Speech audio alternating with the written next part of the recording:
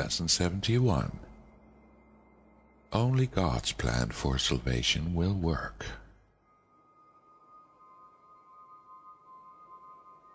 You may not realize that the ego has set up a plan for salvation in opposition to God's. It is this plan in which you believe. Since it is the opposite of God's, you also believe that to accept God's plan in place of the ego's is to be damned. This sounds preposterous, of course. Yet after we have considered just what the ego's plan is, perhaps you will realize that however preposterous it may be, you do believe in it. The ego's plan for salvation centers around holding grievances. It maintains that if someone else spoke or acted differently, if some external circumstance or event were changed, you would be saved. Thus, the source of salvation is constantly perceived as outside yourself. Each grievance you hold is a declaration and an assertion in which you believe that says, if this were different, I would be saved. The change of mind that is necessary for salvation is thus demanded of everyone and everything except yourself. The role assigned to your own mind in this plan, then, is simply to determine what other than itself must change if you are to be saved.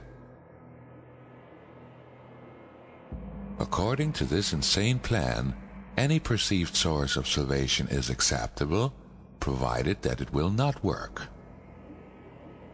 This ensures that the fruitless search will continue, for the illusion persists that, although this hope has always failed, there are still grounds for hope in other places and in other things. Another person will yet serve better, another situation will yet offer success. This is the ego's plan for your salvation. Surely you can see how it is in strict accord with the ego's basic doctrine seek but do not find.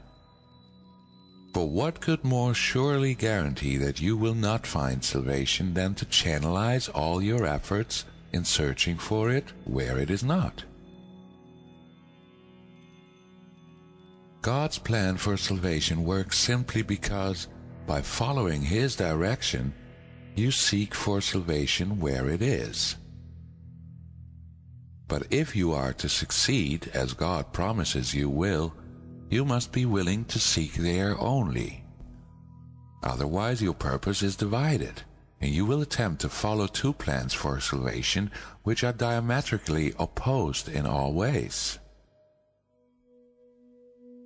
The result can only bring confusion, misery, and a deep sense of failure and despair. How can you escape all this? Very simply. The idea for today is the answer. Only God's plan for salvation will work. There can be no real conflict about this, because there is no possible alternative to God's plan that will save you. His is the only plan that is certain in its outcome. His is the only plan that must succeed. Let us practice recognizing this certainty today, and let us rejoice that there is an answer to what seems to be a conflict with no resolution possible. All things are possible to God. Salvation must be yours because of His plan which cannot fail. Begin the longer practice periods for today by thinking about today's idea and realizing that it contains two parts, each making equal contribution to the whole. God's plan for your salvation will work and other plans will not. Do not allow yourself to become depressed or angry at the second part it is inherent in the first. And in the first is your full release from all of your own insane attempts and mad proposals to free yourself.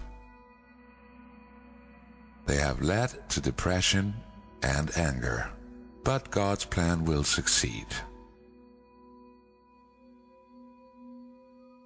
It will lead to release and joy. Remembering this, let us devote the remainder of the extended practice period to asking God to reveal His plan to us. Ask Him very specifically What would you have me do? Where would you have me go? What would you have me say and to whom? Give him full charge of the rest of the practice period and let him tell you what needs to be done by you in his plan for your salvation. He will answer you in proportion to your willingness to hear his voice. Refuse not to hear. The very fact that you are doing the exercises proves that you have some willingness to listen. This is enough to establish your claim to God's answer. In the shorter practice periods, tell yourself often that God's plan for salvation and only His will work. Be alert to all temptation to hold grievances today and respond to them with this form of today's idea. Holding grievances is the opposite of God's plan for salvation and only His plan will work. Try to remember the idea for today some six or seven times an hour.